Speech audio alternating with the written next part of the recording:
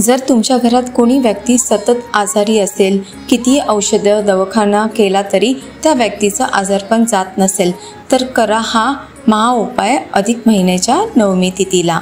शिवपुराण विष्णुपुराण आणि स्कंदपुराणमध्ये पुरुषोत्तम कथेमध्ये वर्णन केल्यानुसार एक गव्हाचा पिठाचा किंवा कणकेचा दिवा तयार करायचा आहे. त्यामध्ये तो दिवा तयार करताना मीठ किंवा हळद न टाकता हा कणकेचा साधा दिवा बनवायचा आहे. दिवा बनवून झाल्यावर त्या दिव्यामध्ये चार वाती बनवायचा आहे. वात बनवताना जोड वातच घ्यावी आणि दिव्यामध्ये चारही दिशेने चार वातीचे तोंड येईल अशा प्रकारे ठेवायचे आहे. तर या बनवलेल्या दिव्यामध्ये थोडेसे तिळाचे तेल टाकायचे आहे तसेच थोडेसे राईचे तेल टाकायचे आहे. त्यानंतर तो दिवा प्रज्वलित करायचा आहे. दिवा प्रज्वलित केल्यानंतर जी व्यक्ती आजारी असेल त्या व्यक्तीच्या डोक्यापासून ते पायापर्यंत तो दिवा एकवीस वेळा उतारा करणे.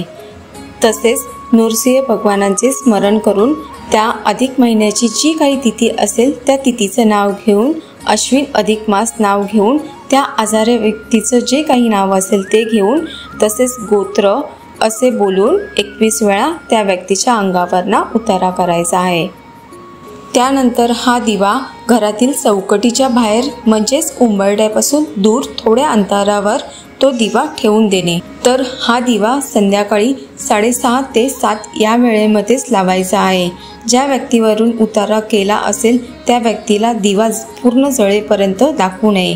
त्यानंतर तो दिवा बाहेर दूरवर जाऊन टाकणे किंवा पाण्यात सोडून देणे. जर तुमच्या घरामध्ये दोन व्यक्ती आजारी असतील तर दोन वेगवेगळे दिवे अशा प्रकारे बनवून त्या दोन्ही व्यक्तीवरून उतारा असा करायचा आहे. एका व्यक्तीसाठी एकच दिवा घ्यायचा आहे. अधिक मासमध्ये अशा प्रकारचा दिवा लावल्याने त्या व्यक्तीचे आजारपण कमी होते तसेच थोड्या दिवसातच त्याचे आजारपण पूर्णपणे दूर होते. तर तुम्हाला आजचा व्हिडिओ आवडला असेल तर माझ्या चॅनलला लाईक करा शेअर करा आणि सबस्क्राईब करा असेच नवनवीन व्हिडिओ पाहण्यासाठी. श्री स्वामी समर्थ.